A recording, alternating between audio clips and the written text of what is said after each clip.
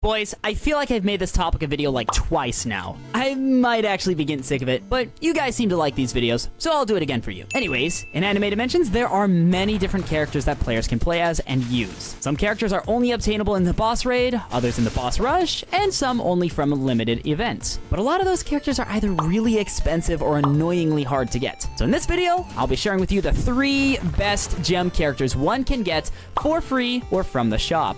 But real quick, here's a quick shout out to my members. Also, join the Discord, link in the description down below. Thanks, cuties. I mean cuties. I mean cuties. Okay, the first character we're going to talk about is Artoria Pendragon from the Fate series. She's a character that's obtainable from the gem shop for 1600 gems and also has an awakening that gives her a fifth ability and a 12% damage buff when she's used as an assist. Saber, or Artoria Pendragon's abilities are Cross Slash, Flying Slice,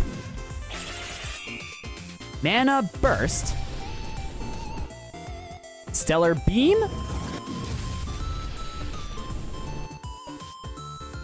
and Divine Construct.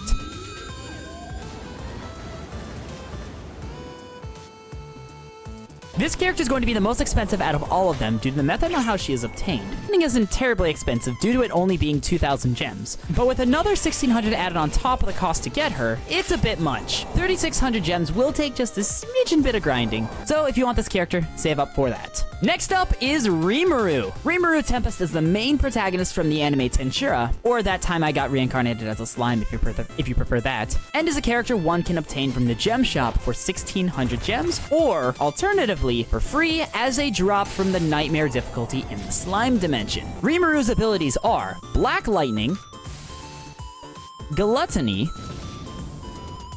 Flare, Twilight, and Giga Demon Blaze.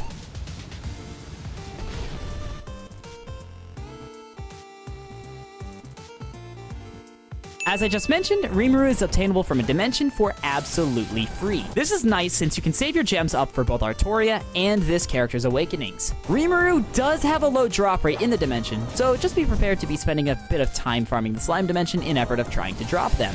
And the final character is Power. Power is a character from the anime and manga Chainsaw Man, and is a character one can obtain from the shop for 1600 gems, and is also droppable in the Devil Dimension. Now, it might be a bit of a surprise to see this character here, but Power is an insanely powerful character. Don't worry, I regret nothing. Even though she's a gem character. She doesn't have an awakening, but that is not gonna stop the fact that she is really good at damage. So you're gonna wanna use her as a main. Okay, that's the team. But real quick, if this video has helped you out, then make sure to not only like it, but also subscribe for more. Currently, I'm trying to hit 100,000 subscribers before the year 2024 ends, so all support is appreciated. So, with this team, you're gonna be able to do some good damage and be able to progress in the game, both in the raid mode and also in dimensions. But keep in mind that characters can only do so much. You need to be worrying about your stats more than anything. So if you're new to Anime Dimensions, then make sure to go watch this video right here. It's a tips video that will help you out a lot in the game. So go watch it by clicking on it right